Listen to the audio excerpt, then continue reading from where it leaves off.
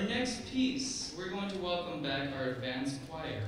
They will be singing a medley of songs from the musical The Phantom of the Opera. I can see some of you guys are familiar with it already. If you're not familiar with it, this is a story of a mysterious character that lives in an opera house. He hypnotizes a girl to give her singing lessons, only to have her leave him for a younger, more handsome, and did I mention rich, opera house owner. This is Phantom of the Opera medley, and I'm going to get out of the way so that they can do their presentation on their